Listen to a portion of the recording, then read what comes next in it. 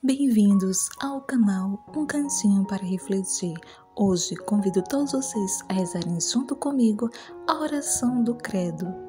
Creio em Deus Pai Todo-Poderoso, Criador do céu e da terra, e em Jesus Cristo, seu único Filho, nosso Senhor, que foi concebido pelo poder do Espírito Santo, nasceu da Virgem Maria, padeceu sob Ponço Pilatos, foi crucificado, morto e sepultado, desceu à mansão dos mortos, ressuscitou ao terceiro dia, subiu aos céus, está sentado à direita de Deus Pai Todo-Poderoso, de onde há de vir julgar os vivos e os mortos.